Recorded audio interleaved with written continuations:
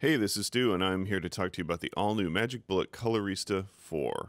Magic Bullet Colorista is all about color correction. And I've got this great 4K clip here. I'm just to start off by adding Colorista 4 to the clip. Now, if you're familiar with Colorista, you probably recognize this interface over here. We've got the three-way color corrector, got our awesome hue and saturation controls, and a tone curve down here. But if you're used to working with this in Premiere, you also know that sometimes this area over here gets a little cramped. Well, I want to show you this fancy new button that we've got, Open as a Panel.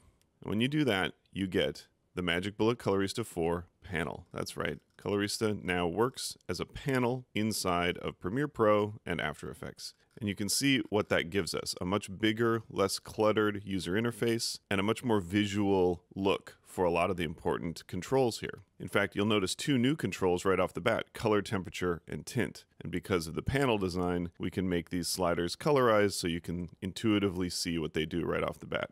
It's really great. It's also super handy to be able to have color temperature and tint be separate from the highlights control, which is how we used to kind of do that kind of color correction. But there's more to the panel than just decluttering. The panel also has an awesome responsive layout. So if I expand it over, you'll see that it resizes, but at a certain point, it gets so big that it pops over and goes double wide. This is my favorite way to run Colorista because everything I need is right here in front of me. I love this. You can also save workspaces. So I've got a Colorista 4 workspace here. This is a pretty cool way to run it too.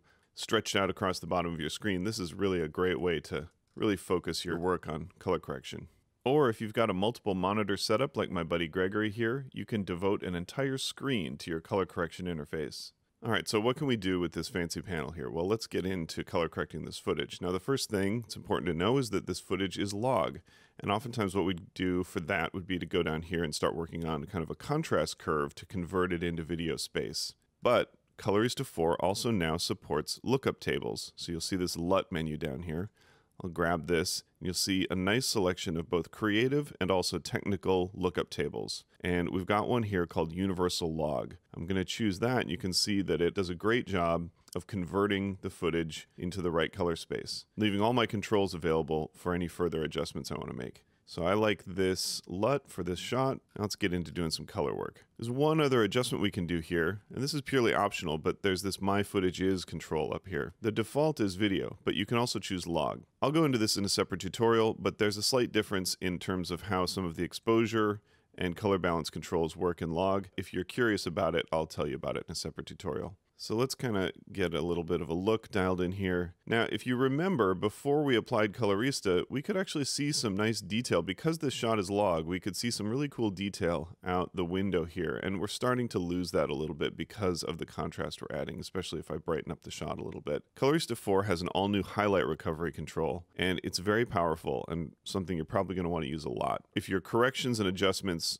have pushed some highlights into the clipping zone, and you can see that's exactly what's happening happened here. See how these values here are above 100. Watch highlight recovery, just bring them right back. And now we can see some subtle detail out the window again, and we've got a much more kind of soft filmic roll off into the highlights. It's a really nice effect. And you'll notice, as always, Colorista is Mercury enabled in Premiere Pro and playing back in real time.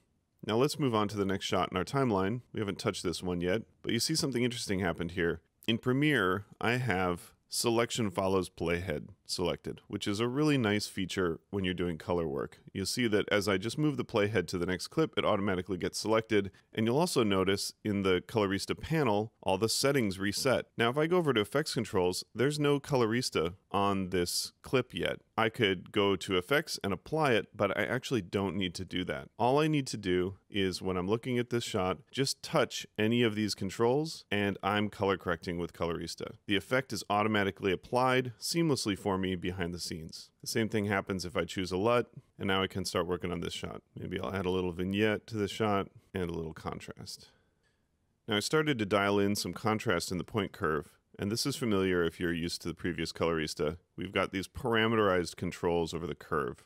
So I can adjust the contrast, the highlights, the midtones, and the shadows. But we've also got a new control in Colorista 4 that I think you're going to be very excited about. Just click on the curve and add points. You can add as many as you want, and you can adjust them to get just the right curve. But when you do that, you don't give up this parameter control you can still adjust contrast, midtones, even as you add complex points to create your own custom curve, these controls are still available to you. This is like the best of both worlds when working with curves. Really excited about this.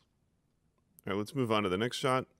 I've already got Colorista on this shot, and you can see as I pop over to the shot, the settings on the panel automatically update to reflect the new shot. Now you may be wondering, what about working with multiple layers of Colorista?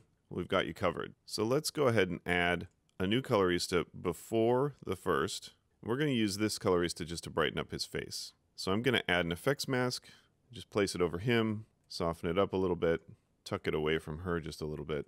Now let's pop back over to the panel. Up here you'll see we've got a menu to choose between the two coloristas we've applied. So this colorista is the overall look, and this colorista is for his face.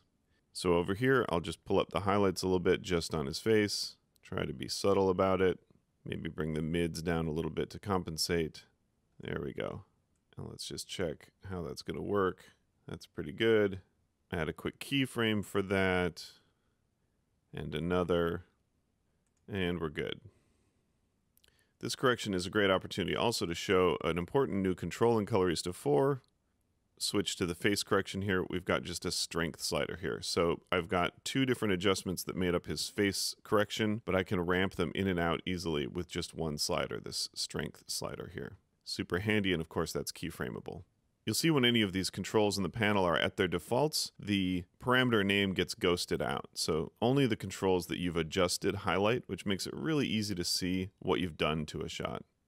Speaking of multiple layers of Colorista, the other thing we've changed a little bit in this version is the keyer. The Colorista keyer has always been one of the industry's best and easiest to use keyers. I'm going to add a second Colorista to this shot and I've got a separate tutorial that goes into more detail on this, but I just want to show you what we've changed in the keyer real quick. So click on Edit Key, and you can see, as usual, we just start by selecting the color, and then we've got these simple controls to just scrub on the image and plus out the selection. So I can scrub over here and get more of the car, get that lower saturation top of the car. So what's new about this? Well, it's just a slightly new layout. And we've got a new control over here called the hue lightness control. We always had the ability to dial in the lightness parameters vertically on this scope here. So you were controlling what uh, lightness values you were keying, but we've now integrated the hues into that as well. So it's just another way to see the hue ranges that you're keying. So I can really see like a nice box around the oranges and reds that I'm keying here. It's a little bit easier than using the hue saturation scope, which also controls hue.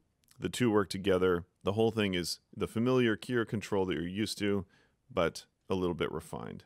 So that's Magic Bullet Colorista 4. We've taken the most powerful color correction software available right inside your nonlinear editor and made it even better.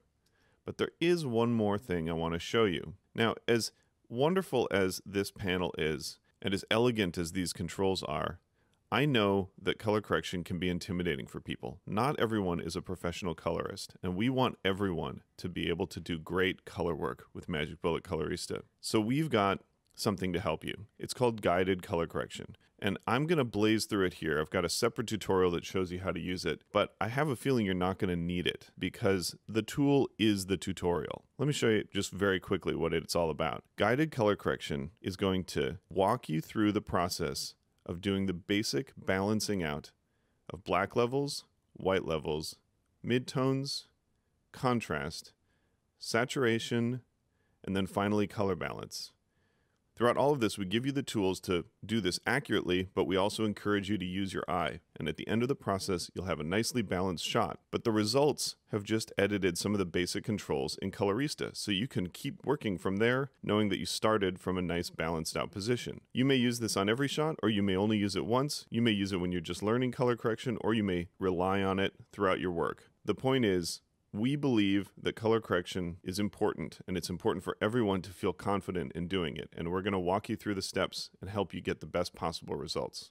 So that is Magic Bullet Colorista 4. An all new panel in Premiere and After Effects, Mercury playback as always, new temperature and tint controls, a brand new point curve that works with the parameterized curve, a new highlight recovery tool, a new keyer, lookup table support, a strength control, and an all new guided color correction feature.